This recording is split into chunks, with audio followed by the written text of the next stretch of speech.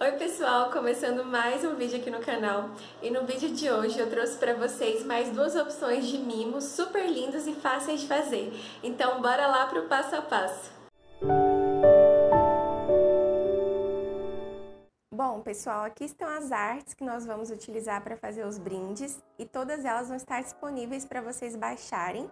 Eu vou deixar o link para download na descrição do vídeo e todas vão estar em PNG então vocês conseguem levar para programas como o Canva, por exemplo, e acrescentar lá o Instagram de vocês, ou o nome da loja, ou o site de vocês também.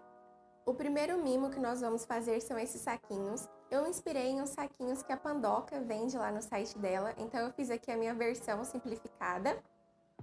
E dentro desses saquinhos a gente pode colocar balinhas, pirulitos, esses docinhos assim da Fini que eu comprei por menos de 90 centavos cada um. Aí você coloca o que quiser. Tem essas duas opções de arte disponível e aqui você pode acrescentar o nome da sua loja ou o site da sua loja. Já vou pegar aqui a minha base de corte para poder cortar. E o tamanho dessas artes, para quem sempre pergunta, é 14 por 20 centímetros.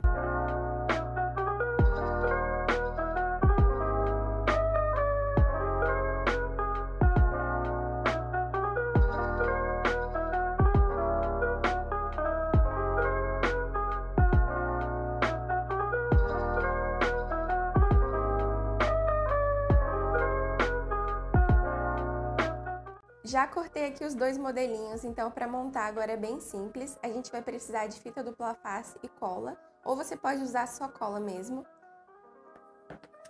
Então o que eu faço é virar aqui e tentar centralizar, deixando um pedacinho de um lado em cima do outro para a gente poder passar a cola.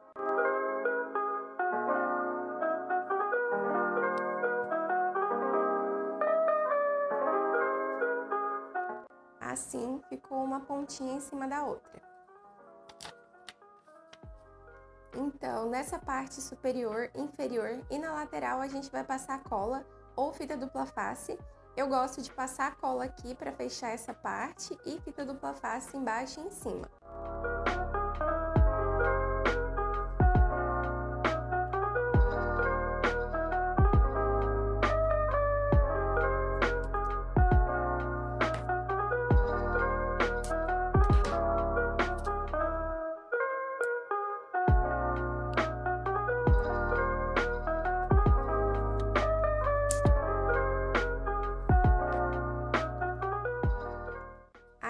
Eu vou passar cola.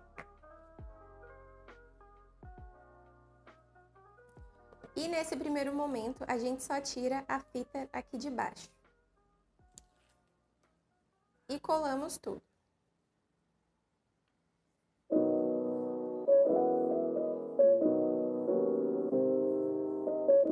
Basicamente, está pronto o nosso saquinho, agora é só escolher o que vai colocar dentro. Nesse aqui eu vou colocar então esse docinho da Fine. Prontinho, agora é só tirar a cola aqui em cima e lacrar o saquinho.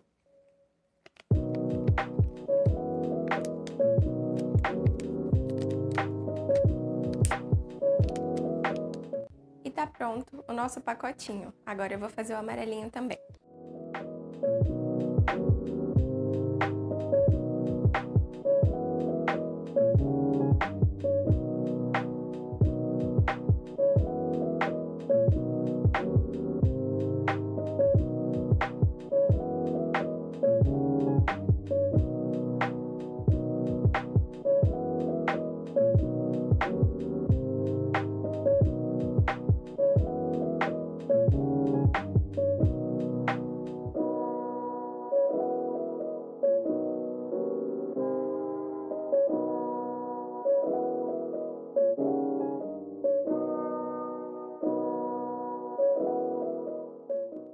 Os nossos pacotinhos ficaram lindos. Assim já estão perfeitos. Mas se ainda quiser dar aquele charminho especial, a gente pode usar uma tesoura de picotar. Eu vou usar essa daqui que eu tenho, da Léo e Léo. E picotar aqui embaixo e aqui em cima.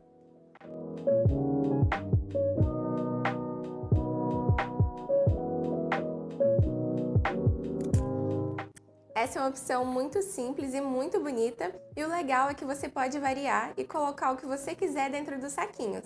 E para fazer esses saquinhos, eu usei papel sulfite 75 gramas mesmo. Agora vamos para a segunda opção.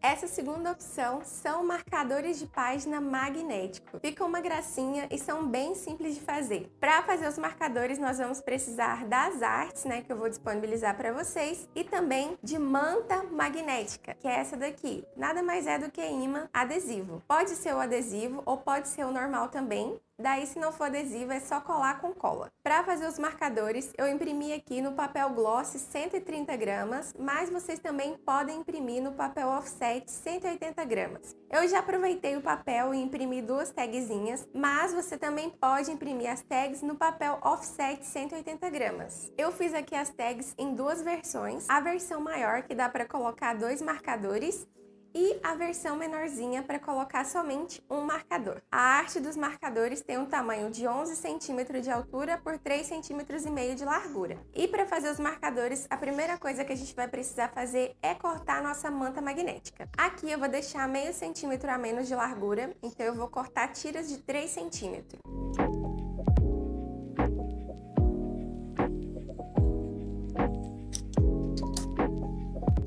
Uma dica aqui muito importante quando você estiver fazendo os seus marcadores é pegar duas tirinhas e colocar uma sobre a outra e ver se realmente os ímãs estão se atraindo ou repelindo. Porque se depois na hora de cortar e colocar no marcador eles não estiverem se atraindo, quando você for colocar ele no livro, no caderno, ele não vai fechar. Agora que a gente viu que as nossas tirinhas estão certas, nós vamos cortar assim ainda juntas, pedacinhos de 5 centímetros mais ou menos.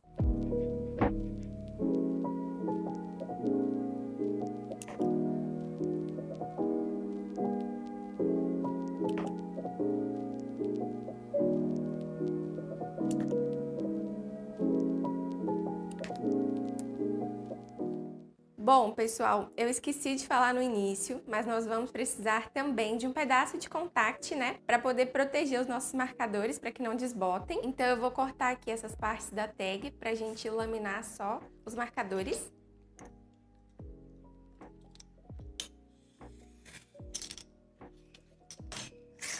Eu retiro aqui a pontinha do liner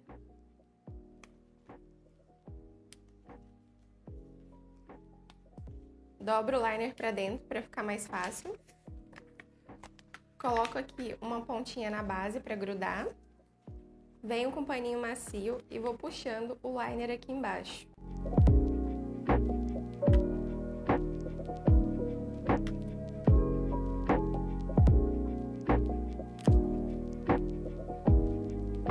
E agora é só cortar tudo. Bom, gente, tudo cortadinho.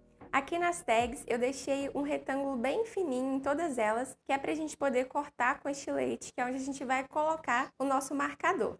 Então, bora cortar com estilete aqui.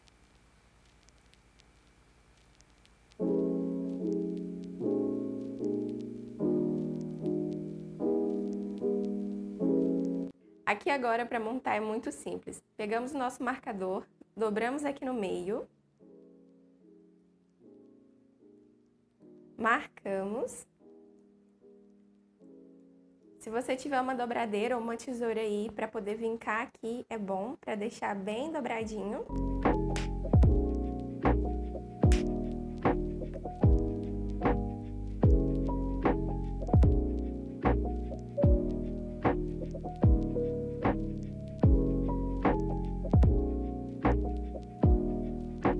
E vamos pegar aqui os quadradinhos que a gente cortou. Se você quiser cortar esse aqui menor, não tem problema. Eu coloco esse tamanho maior de mais ou menos 5 centímetros, porque eu gosto que preencha quase todo o meu marcador. Aqui, se você quiser arredondar esses cantinhos para ficar parecido com o arredondamento aqui do marcador, pode fazer isso com a tesoura mesmo.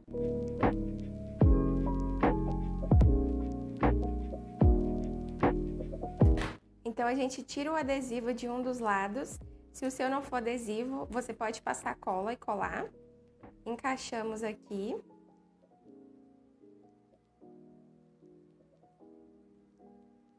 Assim no meio e tiramos o adesivo do outro. E dobramos assim.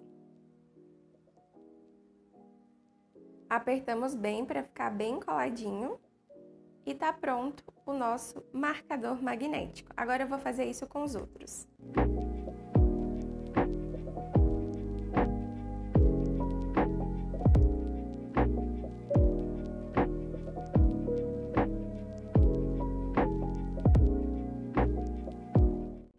Prontos os nossos marcadores de página magnético e agora é só escolher a embalagem que você vai querer colocar. Aqui tem a opção para colocar individualmente, então a gente abre aqui o marcador e coloca por dentro desse corte que fizemos aqui no meio. E fica assim, muito bonitinho. E também tem a opção de usar essa tagzinha maior e colocar dois marcadores na embalagem.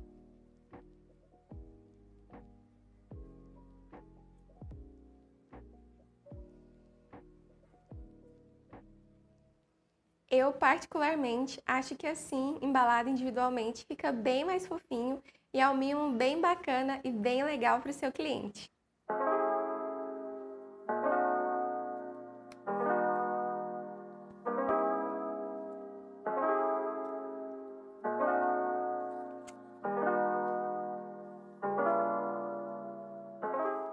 Bom, pessoal, essas duas opções são opções fáceis, bem tranquilas de fazer e eu tenho certeza que qualquer cliente vai adorar receber qualquer um desses mimozinhos em casa.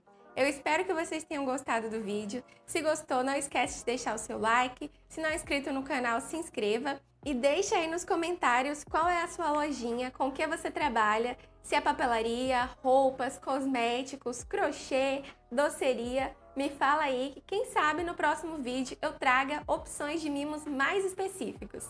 Então até o próximo vídeo e tchau, tchau!